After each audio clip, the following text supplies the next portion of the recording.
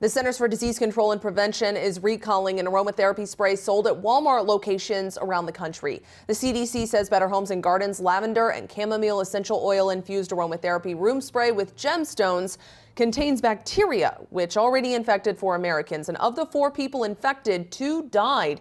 So far, the cases are from Georgia, Kansas, Texas, and Minnesota. According to the announcement from the CDC, anyone with the spray should stop using it immediately. Don't open the bottle. Don't throw it away in your regular trash either. Instead, double bag it using Ziplocs, place it in a cardboard box, and return it to Walmart.